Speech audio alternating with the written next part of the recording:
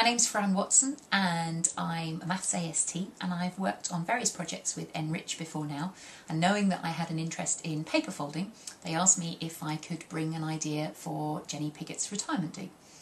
Uh, this idea was shared with me first at the joint ATM and MA conference in Keele by a colleague who saw me looking wistfully at it in the workshop uh, between sessions. He showed me how to make the individual modules and then he came back after half an hour or so and showed me how to put them all together.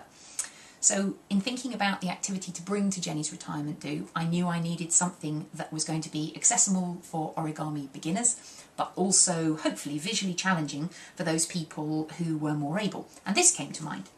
Um, the individual modules, of which there are 30, are simple to make and they can be easily checked against each other as you can see in one of the clips.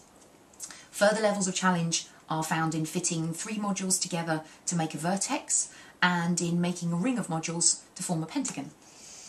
There are options of pattern, looking at using colour, which makes some instructions easier to